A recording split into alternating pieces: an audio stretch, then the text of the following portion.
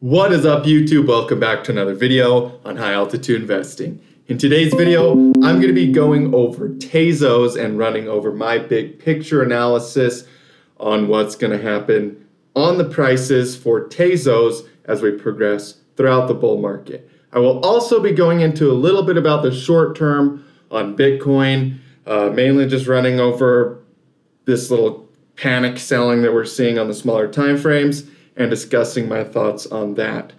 So it's going to be a really awesome video. If you're new to my channel, you can always go ahead and hit the subscribe button to get more content like this on a regular basis.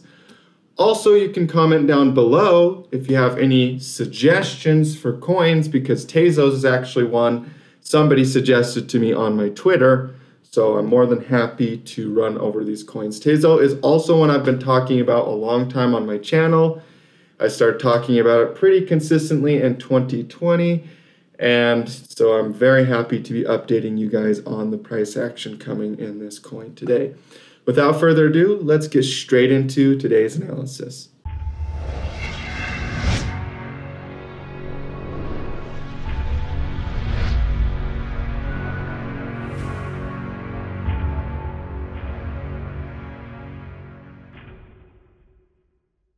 So we're going to be starting off with Tezos here, and the very first thing I'd like to point out to you guys is that we have this expanding triangle pattern. Basically meaning that the market is moving inside of an uptrend. However, we can see that this uptrend has resistance and support, and the support and resistance is defined by a triangle pattern every single support level and every single resistance level is either a higher low for support or a higher high for resistance. So that's what forms this triangle structure that we are seeing here on Tezos. This is important to note because this is a very, very common accumulation pattern.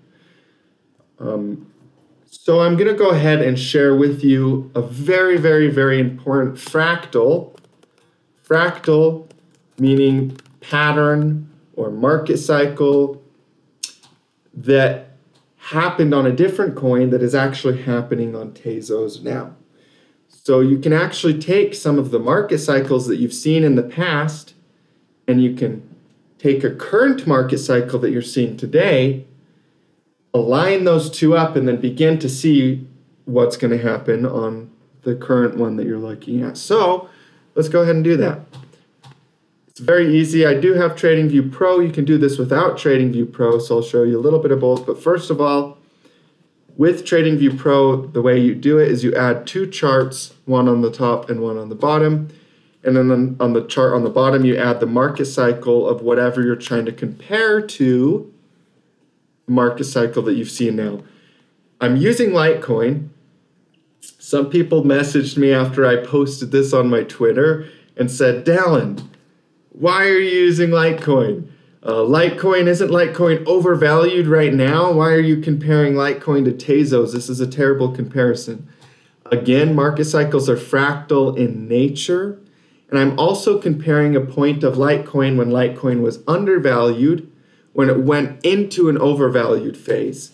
So I'm comparing an older point of Litecoin than when we're at today. Now, to respond to the person that commented and asked me about that, I actually am still bullish on Litecoin, which you probably won't want me to hear, or you won't want to hear me say, uh, but it's mainly because of five waves up and a very clear correction. I think Litecoin is going to see a reversal here. So I do disagree with you that Litecoin is, is overvalued currently. But just so you understand, I was comparing a point in Litecoin previously when it was undervalued, right here, before going into overvaluation. So we're going to do the same thing with Tezos here. Tezos on the top, Litecoin on the bottom. And you can see that once we kind of expand out here, we need to get into a higher time frame with Tezos. Let's go out to the weekly time frame. And now you can probably start to see what I'm talking about. The other thing when you're comparing fractals or market cycles,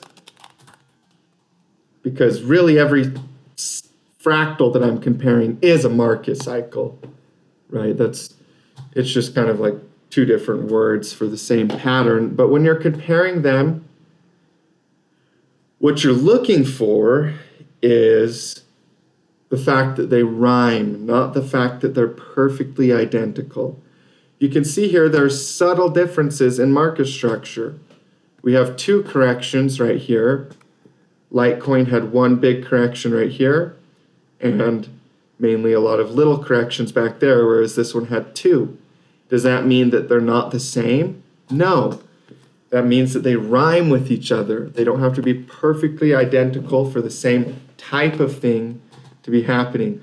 Also, you can see we have increasing volume and increasing price on Tezos.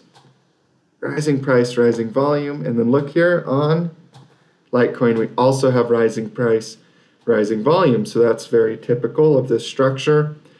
And of course, Litecoin was in an expanding triangle where the support and resistance levels were being tested.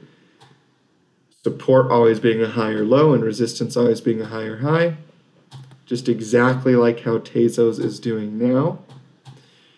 So, what I'm suggesting here is that we see the same expansive move, the same parabolic expansion that Litecoin did when it was worth about $62 up to $300, it's going to come in Tezos as well. Now, Tezos is worth $3, so we're not going to see it go up to $200. It's not going to be the same price levels, but it may be a very similar percentage gain, and it should happen pretty quickly. As you can see, Litecoin moved up pretty quickly here. Now, it took longer. This accumulation is technically longer through the period of years than this accumulation is but it doesn't matter. If you look at what a fractal is, they're the same pattern and they appear as different sizes. So you can have the same market cycle and one of them is going to be bigger than the other one. So you'll have to stretch them to where they look like the same size on your chart. But technically, yes, Tezos is a bigger fractal, a bigger market cycle because it took more time to form but because I've compared them and ratioed them to the same size, they look like they're the same size. So yes, you can still compare even if there's a difference in time, because that's another question that I get a lot about comparing market cycles and fractals. So this expansion, this parabolic expansion is going to happen. Like I said, it will happen fast. Now in Litecoin, that happened in the period of a couple months. This is a bigger fractal, so it may happen in the period of five, six months, a year. I'm not going to try to say exactly how long. That's not the purpose of this analysis. The purpose of this analysis is to show you a high probability projection based on what I've seen in fractals, what I've seen in market cycles before, to give you guys some hopium that Tezos is ready to break out and to assure you guys that I'm not bearish. I still see a lot of bullish price action coming in crypto. And uh, this is the type of structure that I'm seeing that leads to that type of bullish price action. So it's a very exciting time to be trading crypto, you guys. And I do expect a huge expansion in Tezos to happen. Now, if you don't have TradingView Pro, you can isolate, you can go look at only the Litecoin chart, and then you can go over and you can pull this bars pattern tool. And what you do is you measure a section of the chart that you want to copy. Again, on TradingView free, you're only going to be able to use one chart at a time. So you'd have to go over to Litecoin, copy the section, come back over to Tezos, and then paste it. Uh, but you can still measure fractals. I'm actually going to measure the, the whole thing. Even though they're not perfectly identical, I still think it'll be more useful to measure the entirety of this of the fractal. Okay, then I copy this, paste it right here and drag this out. Okay, and get these two to line up. Now I'm gonna only, so what I did was I copied Litecoin. I copied the candlesticks on Litecoin from when the beginning of the market cycle started to when the top happened.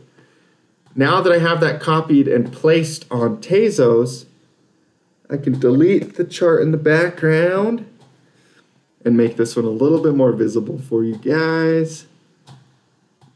Like this. And you'll see, this is what I mean by yes, these market cycles are shockingly similar to each other. They're not exactly the same, but they do rhyme. The same structure that formed on Litecoin in the past is forming on Tezos today. Tezos is undervalued according to this. And although this is my trading journal, you guys can come back to this video a year later, whatever, and see whether I was right or wrong. So this isn't financial advice, this is my trading journal. With that being said, this is a high probability pattern. This is a high probability fractal. And this is something that I have a personally high degree of confidence that this is going to play out. And, you know, there's a lot of people that are going to be hesitant to invest right here. But once you understand these cycles, you get really excited. you get excited when other people are maybe still a little bit fearful because um, the majority of people will want to be invest. Well, the majority of people will end up investing at the top, sadly, instead of down here or even back here when I first started talking about Tezos, when it was very, very undervalued. So, you guys, I personally think a lot of growth is coming in Tezos. And by the way, just because I'm expecting it to expand up like this, how Litecoin did, does not mean that it can't return into another bull market later. And once it's done doing a correction after that expansion, it doesn't mean it can't see more continuation in the future. Um, for anybody that's wondering if it's over or undervalued. So let's run over Bitcoin really quick here and then we will call it a day. Uh, mainly to run over the short term price action. There's going to be people wondering oh, is Bitcoin dead? Uh, you talked about a horizontal support level of an ascending triangle. Does this mean that Bitcoin has failed that support level? No you guys. Support and resistance is a zone. Just because I have a horizontal line drawn as one major area of support and resistance does not mean that there isn't resistance slightly above or support slightly below. So for me, I do not focus on short term trading because of the fact that there's lots of bots, there's lots of algorithms shaking people up. So, as far as the short term price action that we're seeing here with Bitcoin coming back onto support, it's still support. It's still a major support zone. Nothing has changed. Stand by my analysis, and I expect the short term to recover over the next week um, as this support level holds on Bitcoin. We have a lot of coins doing reversal patterns, a lot of coins landing back onto support. So I'm not going to let the short term shake me out of my coins. So, you guys, there's a lot of exciting stuff coming in Bitcoin and Tezos. I am very excited about the price action that this market has set up. Uh, we're going to make a lot of money as things explode, as these trading patterns play out, and I'm very excited about that. You guys, again, there's still some open, opportunities for the mastermind. Just click the links in the description below and you can apply for that. And either I will get on the phone with you or my cousin Monson will get on the phone with you. And we'll get you guys set up inside of the mastermind program. I do have some new members this week. I'm very excited to do their first session this Saturday, and I'd love to have some more new members coming in this Saturday. Why am I doing it? To help people make their first 100,000, their first million. So I'm generally looking for people that have $5,000, $10,000 portfolios because I know for a fact those are in the range that I can help you make your first million in a pretty quick period of time. It's a three month program, so you watch me turn $10,000 into $100,000 inside of that portfolio. If I don't reach that level, I do extend you until that level is reached. It's just part of the way that I do things. So if you guys are in the mastermind now and you're wondering, Dallin, you know, um, I'd like to see $100,000 gains or I'd like to see 10x in my portfolio, and you're wondering if you're going to get there within the next three weeks, six months, or whatever, just understand the purpose of this is to help you reach your first 100,000, your first million, so if I haven't reached the first $100,000 in that portfolio, I do extend your membership out until that level is reached. So it's really just about you reaching your goals and me walking along with you as you do that and showing you how me and my friends have done the same thing. So thank you guys for tuning in today's video. I look forward to seeing you guys in those future updates. And as always, stay profitable out there.